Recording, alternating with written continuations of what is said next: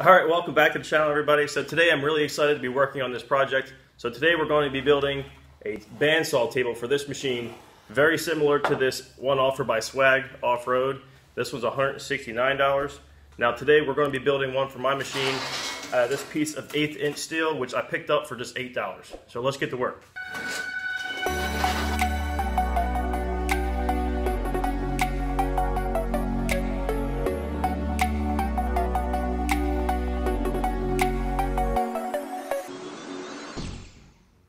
So to get started, this is the unit that we're using. This is a machine made by Wen. It is, I think, a pretty nice machine. It has an LED light on the inside of it to watch where your cutting surface is, and it seemed to do a pretty good job. Additionally, here is the mounting plate. I'm going to use this to mount the actual base of the cutting table. Now let's move on to the piece of metal. All right, so this is a piece of eighth inch steel it is 33 and a half inches long by 19 and a half inches wide. Now I picked this up from my local steel shop. It was sitting on the floor as is. Now by doing that, you get to pay the drop rate, so it's drop steel. So I picked this piece of steel up for just $8 with no cuts made. Being this is the material I have to work with, I come up with a cardboard template. So let's show you how that lines up on here. So as you can see, the, the template that I came up with is going to be using the entire sheet of this steel. It's also galvanized to help me with durability and luckily I don't have to paint it. So to give you a better idea how this is supposed to come together, I'm going to have three sides with legs. There's going to be on the four corners feet bent in on the sides and of course I've added provisions for some dimple dies just to give a little bit of personality. And on the top section here, that's the relief for the machine to fit in. Of course the groove for the belt to go through and we're still going to have to come up with provisions to mount the thing to the table. Now we're going to transfer this template over to the steel.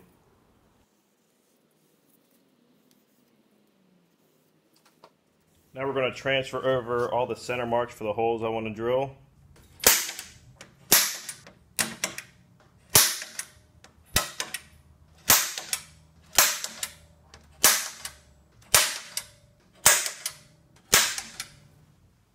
Cut this out with a cutoff wheel, and we all know we can't wrap a cutoff wheel around this radius here.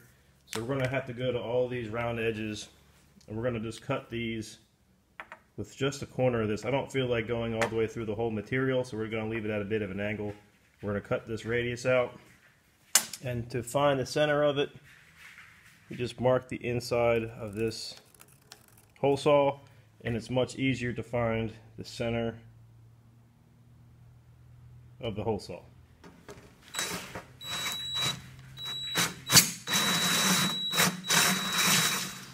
So there you go, just enough to get me around the corners for the cut. So now we can start cutting this material out.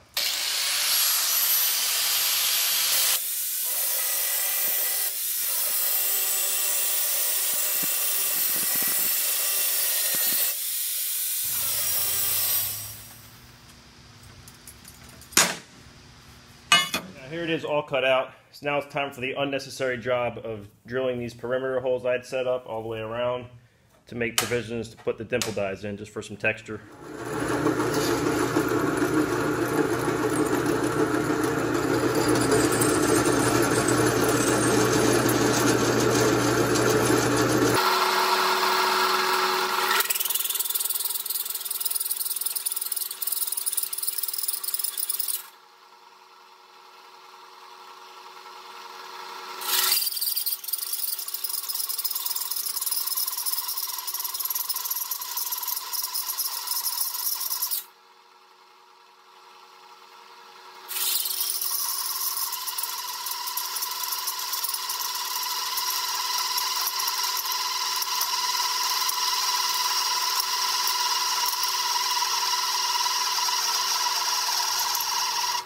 Okay, so I finally got all these holes drilled. Now we're to come in here with this dimple die. This is an inch and a quarter dimple die. And you can see it's going to press that pattern in there. So we're just going to bring this over to the press now and dimple die up all these holes.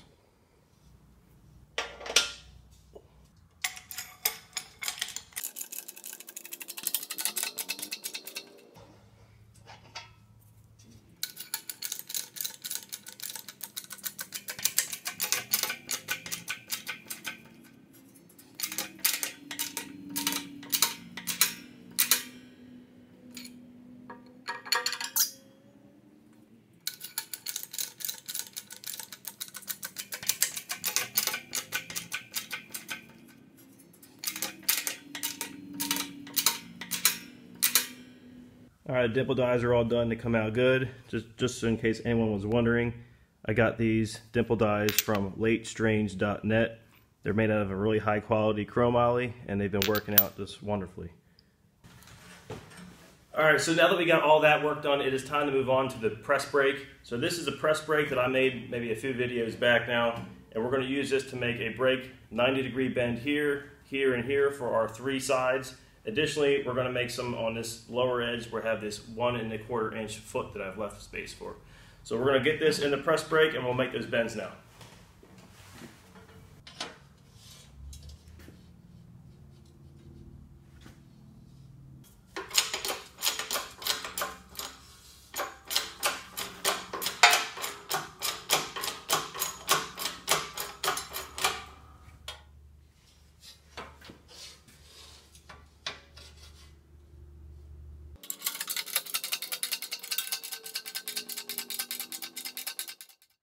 All right, we got the base piece all bent to shape. I did add a few tack welds just in this corner here and here on both sides just to keep this from kind of vibrating.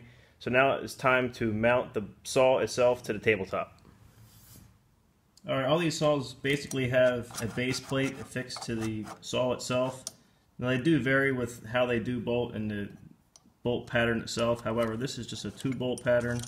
So we're going to remove this base plate and we're going to transfer these mounting holes over to the base we just made. Here's how that base plate correlates to the top of this saw bench. So we're just going to transfer those holes over and drill them out now.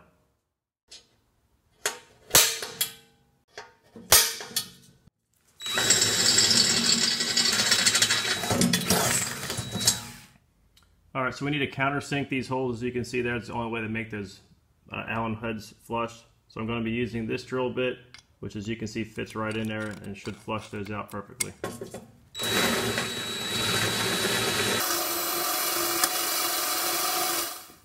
All right, so we got them drilled out. Now let's check our work. All right, looks pretty good. Now we can mount the saw.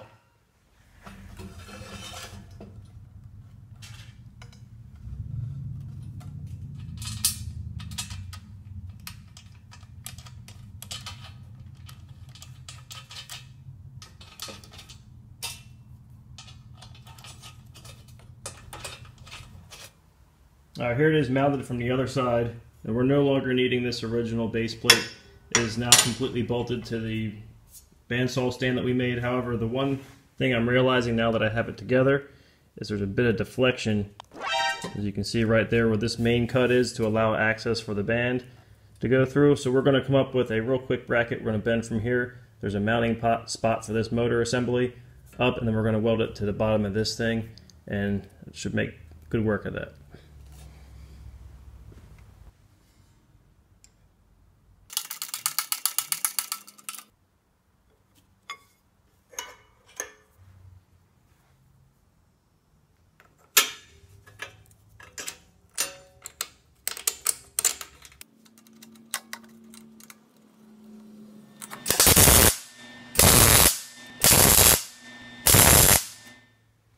This thing is looking good. However, there's one thing. If I'm pushing material through here, I don't want it sliding on the table.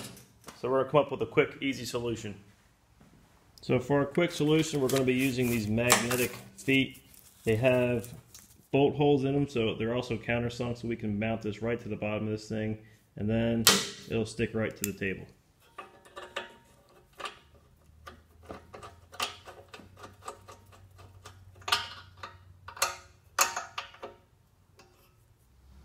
Alright, so it looks good. Let's see how it works.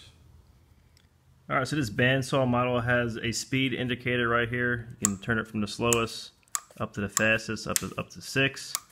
But for cutting metal, we're to want the low speed. We'll keep it on 1. And we're going to use this clamp to keep this going for us while we run our metal material through.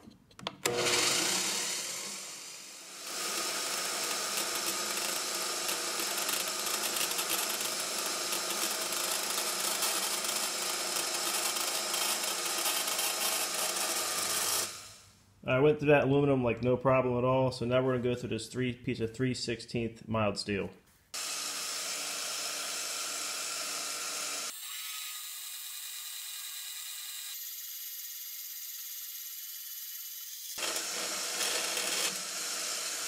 All right, so here it is. For just eight bucks and some time in the garage, this thing turned out great. It looks good, it works well, and I'm very happy with it. This thing's gonna do a lot of help with me in the garage in the future. So with that being said, I guess I should get back to working on cars again. All right, thanks for watching. Please like and subscribe. We'll see you next time.